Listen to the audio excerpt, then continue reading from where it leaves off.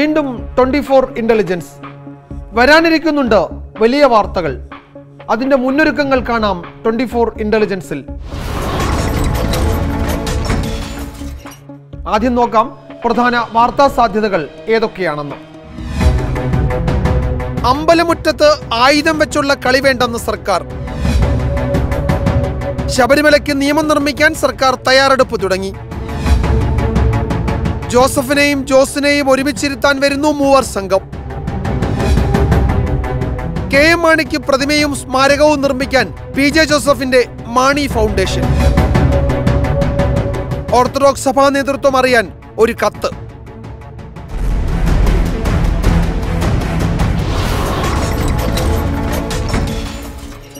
ക്ഷേത്ര പരിസരത്ത് ആയുധ പരിശീലനം തടയാൻ സംസ്ഥാന സർക്കാർ തയ്യാറെടുക്കുന്നു എന്നാണ് ട്വന്റി ഫോർ ഇന്റലിജൻസിന് ലഭിച്ച വിവരം. തിരുവിതാംകൂർ കൊച്ചി മതസ്ഥാപന ഭേദഗതി ബില്ലിൽ ഇക്കാര്യം വ്യവസ്ഥ ചെയ്യുന്നുണ്ട്. ക്ഷേത്ര പരിസരം മറ്റ് ആവശ്യങ്ങൾക്ക് ഉപയോഗിക്കുന്നത് കർശനമായി വിലക്കുകയാണ് നിയമത്തിൽ ചെയ്തിരിക്കുന്നത്. വരും ദിവസങ്ങളിൽ വലിയ ചർച്ചയാകാൻ പോകുന്ന നിയമനിർമ്മാണമാണ് ഇത് എന്ന കാര്യത്തിൽ ട്വന്റി ഫോർ ഇന്റലിജൻസിന് സംശയമില്ല. നിയമം ലംഘിക്കുന്നവർക്ക് തടവും പിഴയും വ്യവസ്ഥ ചെയ്യുന്നുമുണ്ട്. ആവശ്യമെങ്കിൽ പോലീസിന് ഇക്കാര്യത്തിൽ ഇടപെടുകയും ചെയ്യാം.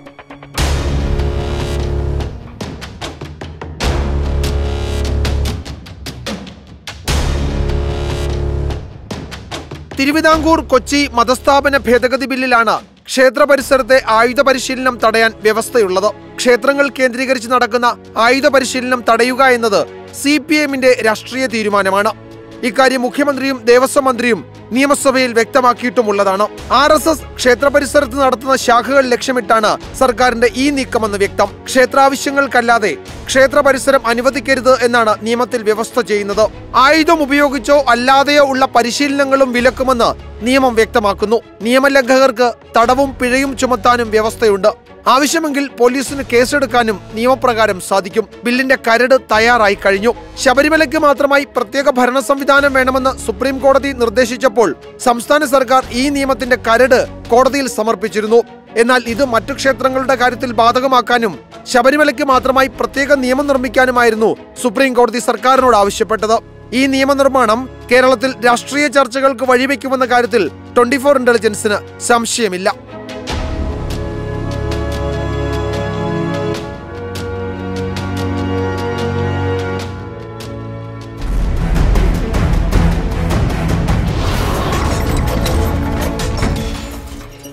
ശബരിമലയ്ക്കായി പ്രത്യേക നിയമനിർമ്മാണം വേണമെന്ന സുപ്രീം കോടതി നിർദ്ദേശം നടപ്പാക്കാൻ സംസ്ഥാന സർക്കാർ നീക്കം തുടങ്ങി എന്നതാണ് ട്വന്റി ഫോർ ഇന്റലിജൻസിന് ലഭിച്ച മറ്റൊരു വിവരം. ശബരിമലയ്ക്കായി പ്രത്യേക ബോർഡ് വേണോ എന്നതാണ് ഒരാലോചന. അതല്ല ശബരിമലയുടെ കാര്യത്തിൽ പ്രത്യേക അതോറിറ്റി മതി എന്ന് വാദിക്കുന്നവരും ഉണ്ട്. എന്തായാലും ഇക്കാര്യത്തിൽ അന്തിമ തീരുമാനം ഉടനുണ്ടാകും. ഭരണസമിതിയുടെ ഘടന സംബന്ധിച്ചും വലിയ ചർച്ചകൾ സർക്കാർ വൃത്തങ്ങളിൽ നടക്കുന്നുണ്ട്. വരും ദിവസങ്ങളിൽ വലിയ വാർത്തയാകാൻ പോകുകയാണ് ശബരിമല നിയമനിർമ്മാണം എന്ന കാര്യത്തിൽ ട്വന്റി ഫോർ ഇന്റലിജൻസിന് സംശയമില്ല.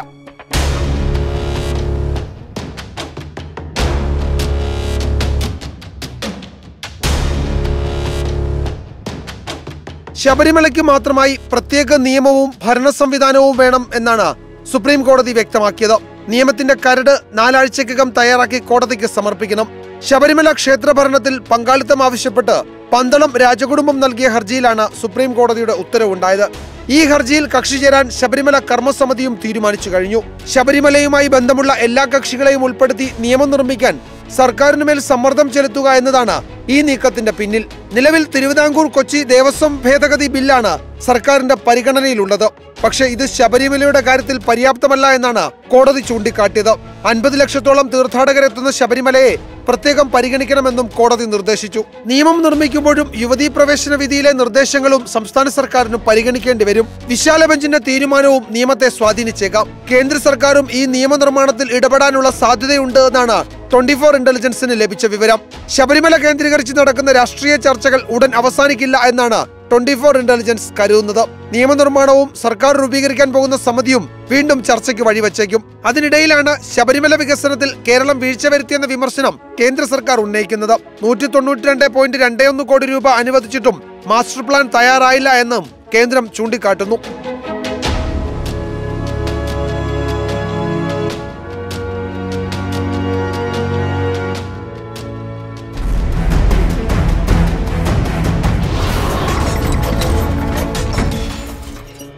കേരള കോൺഗ്രസ് തർക്കത്തിൽ യു ഡി എഫ് വീണ്ടും ഇടപെടുന്നു എന്നാണ് ട്വന്റി ഫോർ ഇന്റലിജൻസിന് ലഭിച്ച മറ്റൊരു വിവരം. പി ജെ ജോസഫിനെയും ജോസ് കെ മാണിയെയും ഒരുമിച്ചിരുത്തി ചർച്ച നടത്താൻ യു ഡി എഫ് നേതൃത്വം തീരുമാനിച്ചിട്ടുണ്ട്. സി എഫ് തോമസിനെ ചെയർമാനായും ജോസ് കെ മാണിയെ വർക്കിംഗ് ചെയർമാനായും പി ജെ ജോസഫിനെ പാർലമെന്ററി പാർട്ടി നേതാവായും അംഗീകരിച്ചുകൊണ്ടുള്ള ഫോർമുലയ്ക്കും യു ഡി എഫ് നേതൃത്വം പദ്ധതി തയ്യാറാക്കിയിട്ടുണ്ട്. പക്ഷേ ഇതൊക്കെ കേരള കോൺഗ്രസ് നേതാക്കൾ അംഗീകരിക്കുമോ എന്ന് ആർക്കും അറിയില്ല. മുൻ മുഖ്യമന്ത്രി ഉമ്മൻചാണ്ടിയും മുസ്ലിം ലീഗ് നേതാവ് പി കെ കുഞ്ഞാലിക്കുട്ടിയും പ്രതിപക്ഷ നേതാവ് രമേശ് ചെന്നിത്തലയുമാണ് ചർച്ചകൾക്ക് മുൻകൈയെടുക്കുന്നത്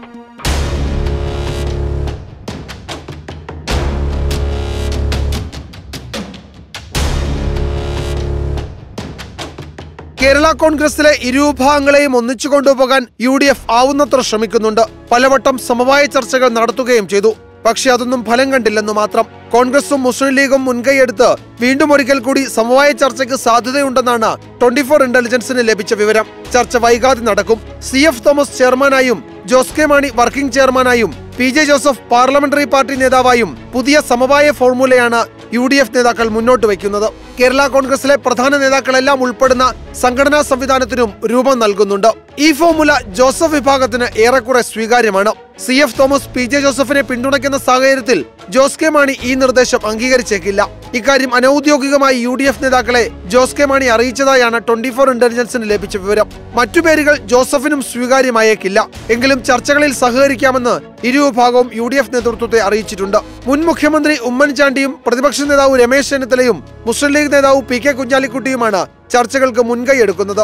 നിയമസഭ കഴിഞ്ഞ സാഹചര്യത്തിൽ ഉടൻ ചർച്ചയുണ്ടായേക്കും. തെരഞ്ഞെടുപ്പ് കമ്മീഷൻ തർക്കത്തിലിടപെട്ടതോടെ നിയമപരമായ പരിഹാരമേ സാധ്യമാകൂ എന്നാണ് കേരള കോൺഗ്രസ് നേതാക്കൾക്കിടയിലെ ചർച്ചകൾ. കോടതി ഉത്തരവുകൾ ജോസ് കെ മാണി പക്ഷത്തിന് അനുകൂലമല്ലാത്ത സാഹചര്യത്തിൽ വിട്ടുവീഴ്ച ചെയ്ത് സമവായ ചർച്ചകൾക്ക് പോകേണ്ട എന്നാണ് ജോസഫ് വിഭാഗത്തിന്റെ നിലപാട്. പക്ഷേ യു ഡി എഫ് നേതാക്കൾ നിർദ്ദേശിക്കുന്ന സമവായ നീക്കങ്ങളിൽ നിന്ന് വിട്ടുനിൽക്കില്ല എന്ന് ഇരുപക്ഷവും അറിയിക്കുന്നുമുണ്ട്.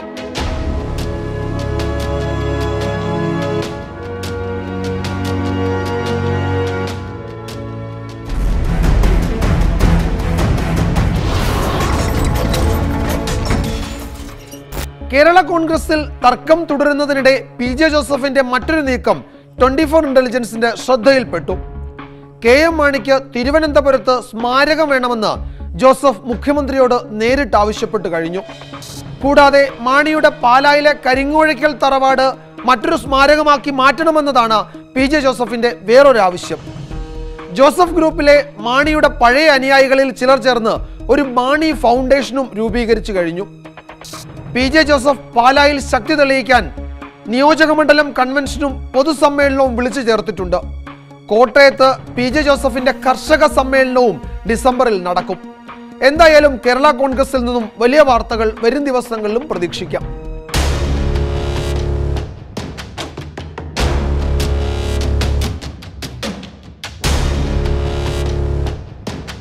കെ മാണി ഫൗണ്ടേഷൻ എന്ന പേരിൽ സംഘടനയുണ്ടാക്കി രംഗത്തെത്തിയത് മാണിയുടെ പഴയ അനുയായിയും ഇപ്പോൾ ജോസഫ് പക്ഷ നേതാവുമായ കുര്യാക്കോസ് പടവനാണ്. മുൻ പാലാ നഗരസഭാ ചെയർമാനായ കുര്യാക്കോസ് പാലാ ഉപതെരഞ്ഞെടുപ്പിന് തലേന്നാണ് ജോസഫ് പക്ഷത്തെത്തിയത്. മാണി ഫൗണ്ടേഷൻ വിവിധ പദ്ധതികൾ ആവിഷ്കരിക്കും. എല്ലാം കെ എം മാണിയെ കേന്ദ്രീകരിച്ചായിരിക്കുകയും ചെയ്യും. അതിനിടയിലാണ് തിരുവനന്തപുരത്ത് കെ എം മാണിയുടെ പ്രതിമ സ്ഥാപിക്കണമെന്നാവശ്യപ്പെട്ട് പി ജെ ജോസഫ് മുഖ്യമന്ത്രിക്ക് കത്ത് നൽകിയത്. തലസ്ഥാനത്ത് കെ എം മാണിയുടെ ഓർമ്മ നിലനിർത്തണമെന്നാണ് പി ജെ ജോസഫിന്റെ ആവശ്യം. മാണിയുടെ പാലായിലെ കരിങ്ങോഴയ്ക്കൽ വീട് സ്മാരകമാക്കി മാറ്റണമെന്നും പി ജെ ജോസഫ് ആവശ്യപ്പെടുന്നുണ്ട്. ഇത് ജോസ് കെ മാണി വിഭാഗത്തെ പ്രതിസന്ധിയിലുമാക്കി. പാലായിൽ ശക്തി തെളിയിക്കാൻ ഈ മാസം മുപ്പതിന് നിയോജക മണ്ഡലം കൺവെൻഷനും വെച്ചിട്ടുണ്ട് പി ജെ ജോസഫ്. ഡിസംബറിൽ കോട്ടയത്ത് ജോസഫ് വിഭാഗത്തിന്റെ കർഷക സംഗമവും നടക്കും. സി എഫ് തോമസിനെ മുൻനിർത്തി ചങ്ങനാശ്ശേരിയിലും ചില നീക്കങ്ങൾക്ക് പി ജെ ജോസഫ് ശ്രമം തുടങ്ങി. എന്നാൽ ജോസഫിന്റെ ഉറ്റയണിയായി മോൻസ് ജോസഫ് എം എൽ എയുടെ തട്ടകമായ കടുത്തുരുത്തിയിൽ ശക്തിപ്രകടനവും പൊതുസമ്മേളനവും വിളിച്ചാണ് ജോസ് കെ മാണി പക്ഷം മറുപടി പറയാൻ ഒരുങ്ങുന്നത് വിപുലമായ പരിപാടികളാണ് കടുത്തുരുത്തിയിൽ ജോസ് പക്ഷം ആലോചിക്കുന്നത്.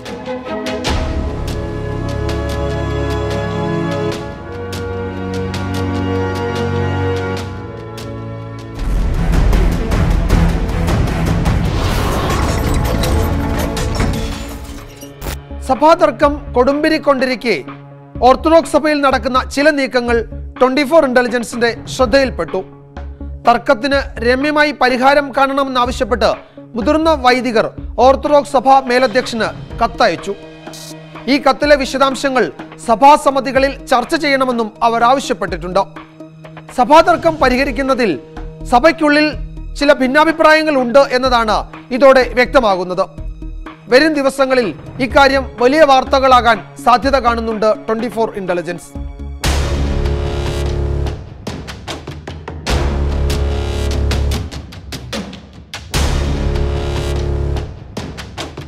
യാക്കോബായ സഭയുമായുള്ള പ്രശ്നങ്ങൾ രമ്യമായി പരിഹരിക്കണമെന്നാണ് ഓർത്തഡോക്സ് സഭാധ്യക്ഷന് അയച്ച കത്തിൽ മുതിർന്ന വൈദികർ ആവശ്യപ്പെട്ടിരിക്കുന്നത്.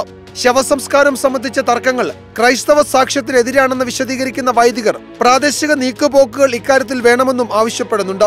സെമിനാരി അധ്യക്ഷനായ ടി ജെ ജോഷു അടക്കം പതിമൂന്ന് വൈദികർ ഒപ്പിട്ട കത്താണ് സഭാധ്യക്ഷന് ലഭിച്ചത്. പരോക്ഷമായി സഭാ നേതൃത്വത്തെ വിമർശിക്കുന്നതാണ് ഈ വൈദികരുടെ കത്ത് എന്നാണ് ട്വന്റി ഇന്റലിജൻസ് മനസ്സിലാക്കുന്നത്. സഭയ്ക്ക് അനുകൂലമായ കോടതി വിധി ഉണ്ടായിട്ടും പ്രശ്നപരിഹാരം ഇനിയും സാധ്യമായിട്ടില്ല. പൊതുസമൂഹത്തിൽ സഭ അവഹേളിക്കപ്പെടുകയാണ് രാഷ്ട്രീയ അവഗണനയും നേരിടുന്നു. ഓർത്തഡോക്സുകാർ വേട്ടക്കാരും യാക്കോബായ വിഭാഗം ഇരകളുമെന്ന നിലയിൽ വ്യാഖ്യാനമുണ്ടായി. ശവസംസ്കാരം തടസ്സപ്പെടുന്ന മേഖലകളിൽ തർക്കങ്ങൾ ഉണ്ടാവാതെ നോക്കണം എന്നും കത്തിൽ ആവശ്യപ്പെടുന്നുണ്ട്. സഭാ സുന്നകദോസിലും സഭാസമിതികളിലും എല്ലാ വിഷയങ്ങളും ചർച്ച ചെയ്യണമെന്നും കത്തിൽ ആവശ്യപ്പെടുന്നുണ്ട്. ഇക്കാര്യത്തിൽ സഭാധ്യക്ഷൻ മറുപടി നൽകണമെന്നും വൈദികർ കത്തിൽ ആവശ്യപ്പെട്ടിട്ടുണ്ട്. ഓർത്തഡോക്സ് സഭയിൽ ചില വിഷയങ്ങളിൽ നിലനിൽക്കുന്ന വ്യത്യസ്ത നിലപാടുകൾ ഈ കത്തിൽ പ്രകടമാണ്. കത്ത് സഭാസമിതികളിൽ ചർച്ച ചെയ്യുമെന്നാണ് ഓർത്തഡോക്സ് സഭാ നേതൃത്വം വിശദീകരിക്കുന്നത്. ആത്മീയ നേതൃത്വത്തെ ചോദ്യം ചെയ്യുന്നില്ലെങ്കിലും സഭയിൽ നിലനിൽക്കുന്ന അഭിപ്രായ ഭിന്നത കൂടുതൽ വെളിപ്പെടാൻ കത്ത് കാരണമാകുമെന്നാണ് ട്വന്റി ഫോർ ഇന്റലിജൻസ് കരുതുന്നത്.